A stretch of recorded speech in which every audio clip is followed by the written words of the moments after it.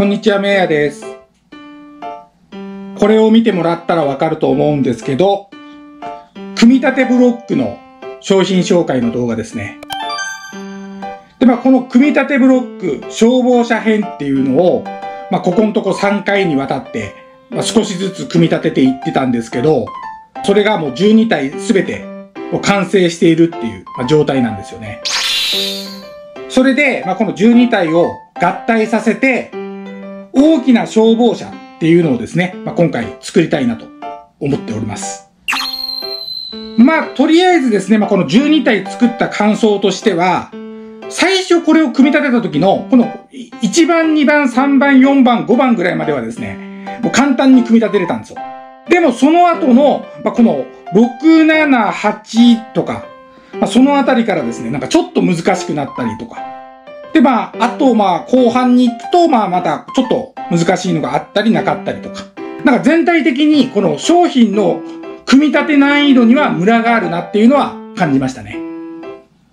あとはまあ、その一つ一つのものを見たら、まあ結構よくできてるなって思うんですよね。で、まあ自分が個人的にまあ好きなのは、まあこの9番のこの水陸乗用バギーとか結構いいなと思うんですよ。で、あと意外とこの11番の消火栓なんかもですね、なんかちょっと変わり種なんだけどいいかなとか思ったりしてますね。これがまあ一つ100円っていうことを考えたら、まあ、安いんじゃないかなって思いますよ。まあ、ではですね、こちらの、まあ、12体、まあ、全部揃ってるんで、合体させて、まあ、一つの大きな消防車っていうものをですね、まあ、作りたいなと思います。それでは、合体やっぱり全部ばらすのか。さすがに12体は大変すぎるだろう。いや、これ、外れないだろう、ここは。ここもちょっと無理があるんじゃないかなっていう。うん、やっぱり硬いな、相変わらず。うわ、これも取れねえな。なんかこれ専用の工具かなんかないとこれ無理なんじゃないかな。もう爪でやったら割れちゃうぞっていう。なんかそんな感じだな、これ。少しは前回よりマシなような気もするけど、それでも部品が前回よりも多いからな。わあ、どうだろうな、これ。うーん。はい。完成しました。これが大きな消防車ですね。また今回もですね、まあ、服が変わってるんですけど、別日です。まあ、この大きな消防車なんですけど、これはですね、前回作った大きな海賊船よりは、組み立て難易度としては低かったような気がするんだけど、それでも、やっぱり12体を合体させるってことで、部品の数なんかが多かったんですよ。それで、まあ、今回も、まあ、大人の自分が組み立てて、1時間半ぐらいかかりましたね。ただ、組み立て自体はですね、最初はちょっと全体的に緩い感じなのかなとか思ったけど、後半に行くに従ってだんだんこの形がしっかり固まってくるからですね、組み立てやすさで言えば今回のやつは結構組み立てやすかったなっていうのはありますけどね。ただ、色が全体的に赤一色みたいな感じだから、説明書の形を探すっていうのが結構手間取りましたね。まあこれ前回も言ったんですけど、すべてのやつをばらさないといけないんですよ。その12体全部バラバラにするんだけど、その際にもう明らかにここ外れないだろうみたいなパーツが存在したんですよ。で、それでですね、まあ自分がどうやってそれを外したかっていうとですね、これですね。このピンセットっていうか、毛抜きっていうか、もうこの鉄の毛抜きでですね、もうこの隙間にガッてはめて、もう上げないと、もうほんと外せないようなところがあったんですよ。もうこれは一番ひどかったなって思うところがあったんでですね、まあちょっとそこ写真で見せますけど、もうこれの、なんか中央にあるパーツを抜かないといけないんですよ。で、これがもう、指じゃ絶対に取れないみたいな感じでひっついてるからですね、もうそれでこれを使って取ったっていう感じです。それでも結構苦戦したんですよ。やっぱりこういうなんか道具があった方が外しやすいなっていうのは感じたんでですね、もうこれダイソーさんでこの組み立てブロックを売ってる、その横で、まあ、この鉄製のこの毛抜きみたいなのをなんか大きな組み立てをやるときには、まあ、これがあったら便利ですみたいな感じで売ったらいいんじゃないかなとか思ったりしたぐらいですよ。そして、まあ、この組み立て方なんですけど、組み立て方はですね、もうあの、まあ、ちょっとここ出しますけど、この、また説明書の方にですね、1から順番に書いてあるんですよ。だから、この1から12までの全てのこの説明書は取っとかないと、この大きな消防車の組み立てができないっていう、まあ、そんな感じですね。そして、あとはですね、まあ、これ前回も言ったんですけど、またここにですね、まあ、ちょっと今回はそんなに出さなくてもいいんですけど、あの、部品がたくさん余ってるんですよ。あ、ちょっとだけ出しましょう。あの、まあ、今回は前回以上にこの中に部品余ってます。まあ、実際ですね、あの、車の形をしたものが多かったから、まあ、このタイヤなんかは、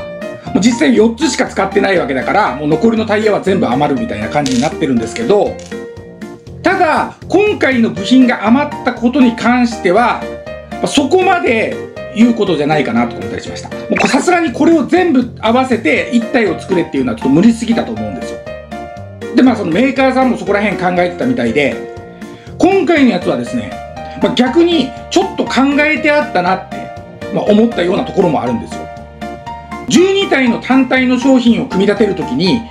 なんかちょっと違和感みたいなのがあるやつがあったんですよ。何体か。なんでこの場所にこういう形じゃなくて、なんかこの形の部品をはめるんだろうみたいな。なんかそういう違和感みたいなものがあったんですけど、この大きな消防車を組み立てるときに、その違和感の答えが出るみたいな。あ、この部品に使いたかったから、あ、このパーツを無理やりみたいにここにつけてたんだ、みたいなのが分かったんですよね。だから、まあ、今回のやつは、もうこの完成したこの大きな消防車っていうものを作るっていうのを前提にですね、あの12個の商品が作られてたんじゃないかなっていう感じがしました。だからまあ今回はその部品がたくさん余ったっていうのはそんなにマイナスっていう感じはしなかったですね。で、むしろこの完成したこのものの形がですね、あとしっかりしてるんですよ。前回の海賊船なんかはもう完成した状態のものを持ち運ぶ際にも部品が外れたりしてたんですよ、いろいろ。でも、今回のこの大きな消防車は、もうこれで1体でもう完全に固まって完成してるっていう感じがするんですよね。だから、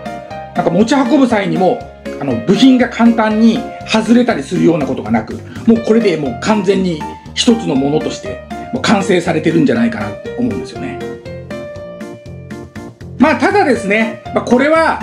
全12体だから1200円の商品になるんですよ。だから前回の海賊船が600円だったって考えて、まあ、これが1200円っていうことを考えるとですね、値段が倍ですからね。まあ、それなりにやっぱいい出来だなっていうのは感じます。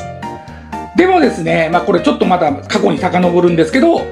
8体合体のアーマーズ8っていうダイソーの商品があったんですけど、やっぱりそうなってくるとあの商品は相当すごかったんだなっていうのを感じますね。あれは8体でもうこれよりもすごい完成度だったからですね。まあでも、あれは、まあ、アーマーズ8っていう商品だったからですね、一つの。今回は、まあこの組み立てブロックっていう、まあ、シリーズなんで、まあちょっとまあ別物ではありますけどね。でもまあこれはこれで、まあ、1200円だったら悪くない商品なんじゃないかなとは思いますね。で、あと組み立てる際もですね、さっきもちょっと言ったんですけど、あの最初はなんかちょっと下の方から組み立てていくんだけど、なんか部品が緩かったりするんだけど、どんどん上に重ねていくごとに、なんかしっかりしてくるんですよ、このものが。で、最後にですね、もうこの上のこの屋根の部分みたいなのをパチって合わせるときには、なんかちょっとその、それがピチッとはまったときには、ちょっと感動すらありましたね。だから、まあ、この、組み立てるっていうことに関してはですね、組み立てがいのある商品っていう、なんかそんな感じがしました。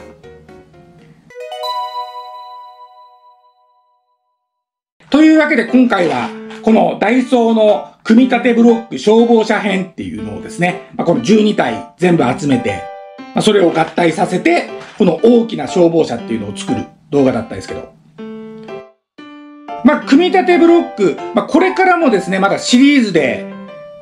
まあ、こんな感じでまた6体合体、12体合体とか出ると思うんですよ。まあ、おそらく24体合体とかは出ないと思うんですけど、またこんな感じでですね、まあ、12体合体ぐらいまでだったら、まあ、買ってきて作ってみてもいいかなって、